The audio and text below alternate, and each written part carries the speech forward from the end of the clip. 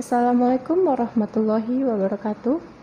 Di sini kita akan belajar subjek dan objek dalam bahasa Inggris. Di bahasa Inggris ada yang namanya subjek.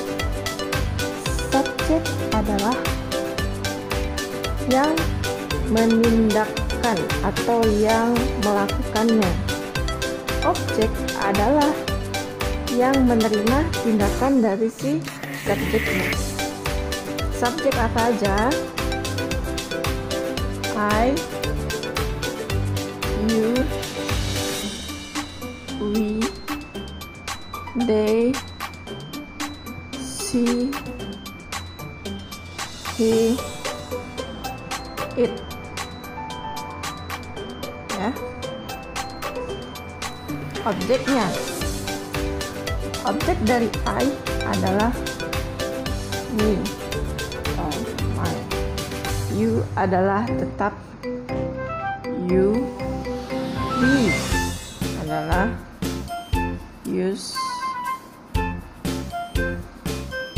they adalah them. She adalah her.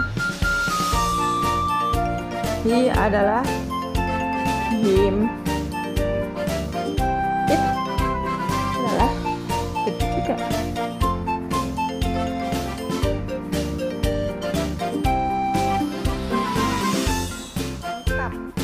namanya to biasanya I am berarti saya adalah. Ada to be siapa aja yang memakai are? Yang memakai are you we they. You are we are they are. He is. She is. It is. Contoh kalimatnya. Misalnya kamu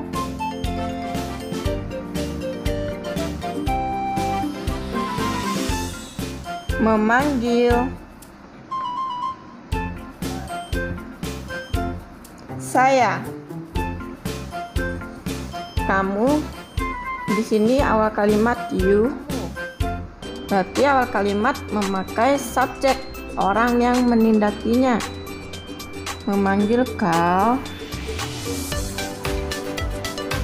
Memanggil kalian. Saya. Me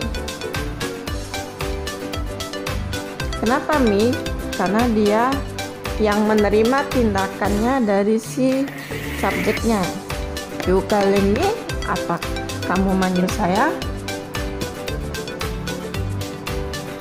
Oke sampai sini kita akan lanjut minggu depan. Assalamualaikum warahmatullahi wabarakatuh